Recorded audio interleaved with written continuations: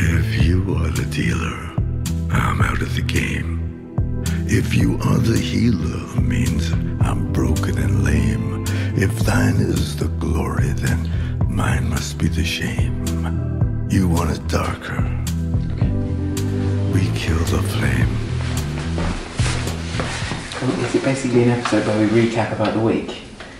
Should we mention the CSA Summit? AMP.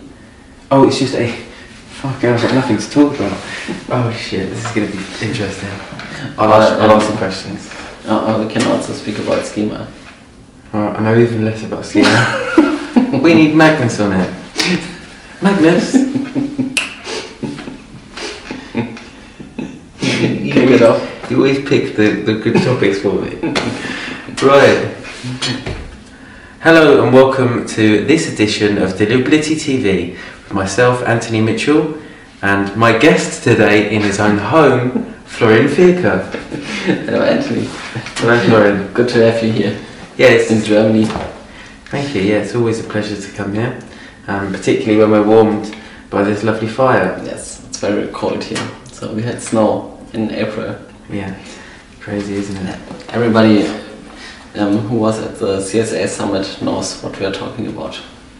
Absolutely. Yeah, one extreme to the other, and uh, I think one of the topics. I know it's been a while, but one of the topics this week at the summit, the CSA summit, was in regards to AMP. Yes. So this is where I sit quietly for 15 minutes. What, what does it mean, AMP? It stands for Accelerated Mobile Pages. Yes. But for, I mean, for me, in a, for the simpletons out there, I would is it is it not HTML around an email specifically for Gmail? What what what is it? I mean, what can we I expect? we um, make email interactive. So instead of the um, how we email now today, static, um, we have some um, interactive elements Yeah. so that uh, we, we, we push an email out, for example, an image gallery, Yeah. but uh, instead of um, just uh, being forwarded to the website when you click on anything, um, the idea is that you can stay within the email to perform Yes, things, interactions, and um, that's saving time, being more you know, to the point with your transaction. Let's say, Yeah, or saving time, saving time. Um, I I think the idea is um, being more convenient. And then um, there's a second topic um, about. I mean, b- before we discuss advantage and disadvantage, there was a second thing um, called schema.org. yeah, It's also um, supported by Gmail and but not, not only by, by Gmail. It's also um, Verizon supporting it. So all right. So Yahoo, AOL, I've got a question for you. GMS. Yeah, just to say. So, before I guess first, yeah, you're right. Introduce schema first. Basically, I have a conflict. What you can also introduce it. Can I? So, what's the difference? The idea of schema is um, adding markup. So Yeah. um, um, what we all know is hopefully uh, list unsubscribe. Hmm. Um, and in the end, each email um, um, has an unsubscribe link in it, but with the list unsubscribe header, you can um, formalize it and then um, uh, make it machine readable Mm. that there's an action behind that, so that uh, website can or webmailers can put that inside their user interface. And in the end, that's the idea of schema. So there's predefined actions Yes. and you can you can formalize things like um, order process. You have to wait. If it's a it's, it's just a, a. Um, it can integrate in the user interface the status of your package or your coupon code. Okay. So, for example, Gmail indicates that with a specific button on top that there's a um, coupon um, included in the email, and then you can directly click on it and use it. For example, so that's that's in the end the idea. That's a bit different, but Yeah. So, interactive as well.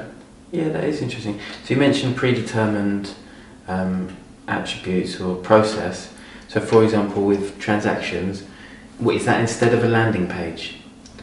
So thi- this is to, this is my this is my struggle and make, not make myself look stupid, but so what is the, the AMP is more interactive design around the email, yeah, whereas schema.org um, the movement is you can make predetermined or predefined actions. So you wouldn't go to a, from the email to a landing page. You can do it all on the email, for in the email. Yes. Yeah. So both you can both do it directly in the email.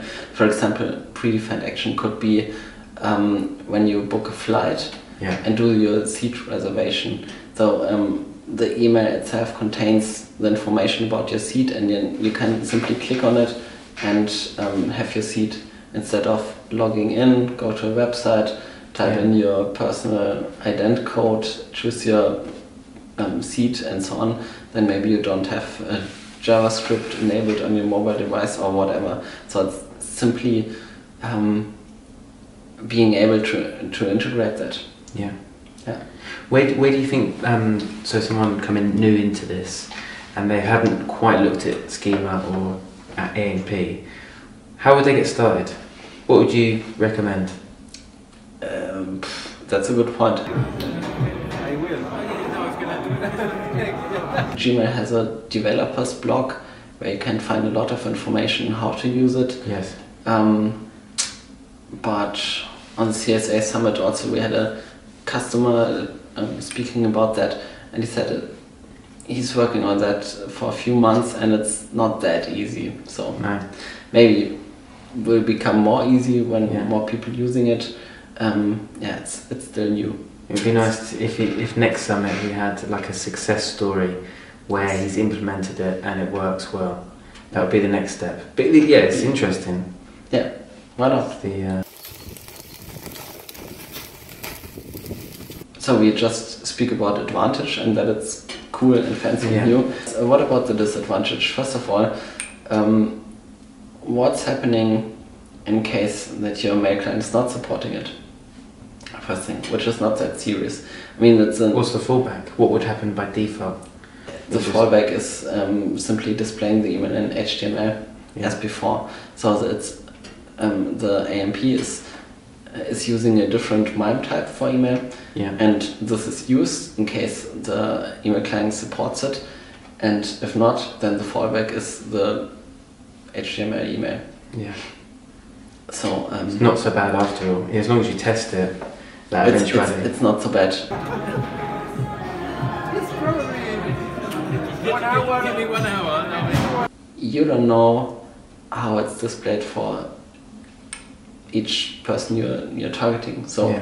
in the end it might you might see the um, interactive elements while I'm not. Could happen. Okay. we don't know. But even worse on my um, uh, or which is my point is um, what about phishing? You know people not everybody some people are kind of careless what they do with email. And I was going to say, what do you mean by phishing? So, that, for example, if they have predetermined processes or variables like sensitive data within Yes. that, if, for example, that got into the wrong hands, yeah that's a Or in, in the simple, really simple way is when you get an email and um, there's a link contained and they say, hey, click this link, that is my webpage, and you hover the link and you see, actually it's not. It doesn't a different target behind. Yeah. Um, yeah, it's it's still not that easy to, to identify, but people are used to that now. People know, understand um, how they can avoid that. So when, when you have an interactive design, it's it's convenient to simply use it, and maybe people trust it more Yeah. when it looks like a form, looks like something easy to use. Um, Wasn't there an example? could be dangerous. Yeah, no, that's that's a good point. So how would they use it? Was there there's, um, with the, was it Paracel with the image gallery, for example? And if it wasn't enabled, there is a way that you can have like underneath. At least there's like clickable buttons to go from each gallery, Yes. which would effectively be like um, a fallback, let's say. I think I think that was the example. Yeah. Could could be, yeah. Or, or simply, I mean, there's also um, any kind of forms like buttons or um, even free uh, free uh, text forms where you simply type in something, click on OK, and then yeah, you gave away some information to someone you might not want Yeah. him to have it. So that's just the concern, but I think, or I expect Yeah. somehow that um, Gmail will only display um, AMP in case uh, the sender is from their point of view trusted, like Okay. um, having all the security me- mechanism enabled, SPF, DMARC, valid, whatever, That makes sense. TLS, Yeah. MTS, STS, it's- STS, stack, A long list. lot of keywords. Yeah. That's it. We come to that in one of the next episodes, maybe. Absolutely. So, okay, takeaway is it's new technology, AMP as well as schema.org.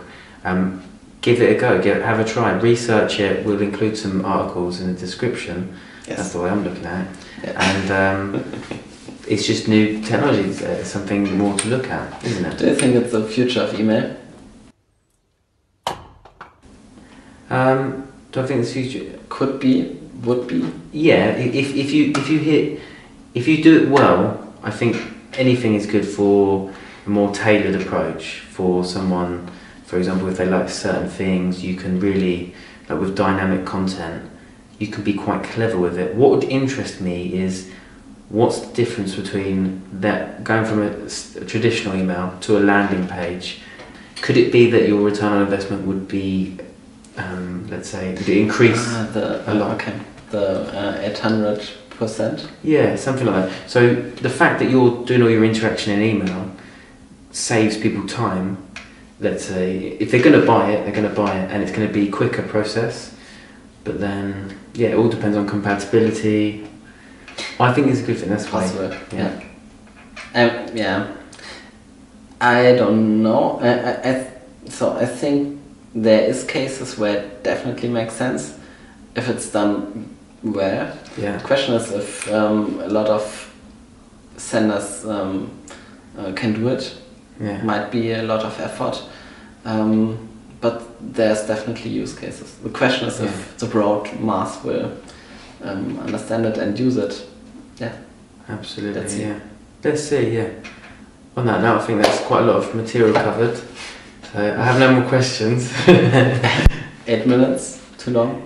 Probably we'll Yeah, maybe that's shorten it. We we cut. Uh, we we simply stop at eight minutes and cut directly from the the, Yeah, yeah. the episode is finished. Also, we're back on the next burning. So yeah, thanks for watching. Cheers, Florian. Appreciate that. Cheers. Thank you.